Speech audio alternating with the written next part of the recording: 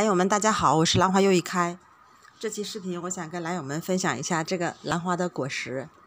我也就是自己有一个好奇心，去年这一盆开完了，我就没有剪花杆，而这个当时挺壮的，我就想试试它到底能不能在我们家庭环境中结出果实来，还挺给力的，结出了一个果子。我也算是看见兰花果子长什么样了，但是。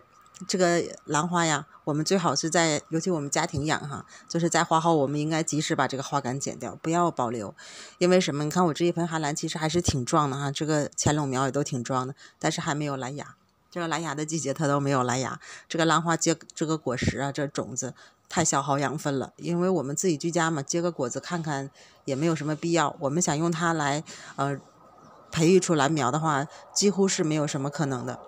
因为这个兰花，它这个种子从种子到形成龙根龙蛋呢，需要一个几年的时间，而且它对这个水质啊和这个环境，还有一个更重要的就是要有一个与兰花共生的共生菌，要有这个共生菌，兰花才会出土这个龙根。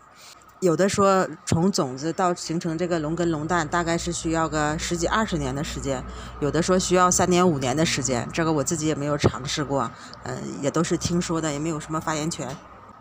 只是这里跟来友们讲一下啊，我们就不要自己在这个居家的环境中人为的想用这个种子来育这个呃兰苗了，这个不太现实。我自己也打算放弃，等一下就把它剪掉了，把它剪掉插瓶子里吧，插瓶子里自己留着看一看吧。来友们有没有好奇这个种子里面长什么样？我也比较好奇，咱们剪一个下来，剪这个吧，上下那两个插起来还蛮好看的。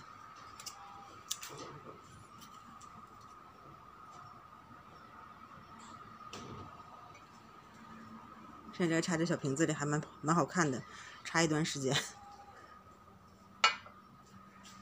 我们来看看这个兰花种子里面到底是什么。我这个应该还是没有成熟。我有看到过他们拍那个视频，兰花那个种子成熟了以后会随风飘走。的确没有成熟，我看见他们那个都会随风飘走，像我们北方有这个蒲公英一样。没有用的。这期的视频就跟来友们分享到这里吧，希望大家能够喜欢我的视频，再见。